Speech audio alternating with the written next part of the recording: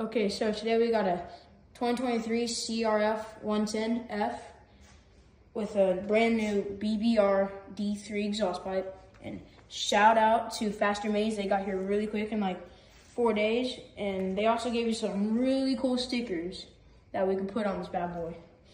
And I'll be showing you the stock exhaust pipe before we install the D3 exhaust pipe.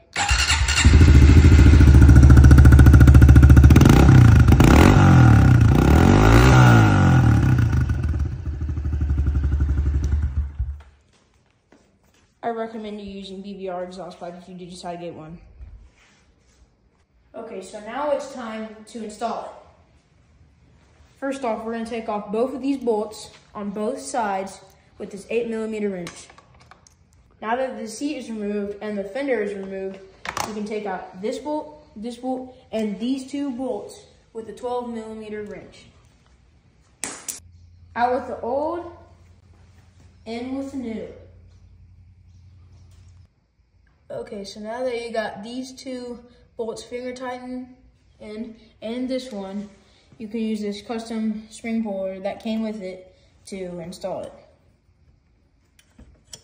And there it goes. Now that we got all of it installed, it's time to hear it roar.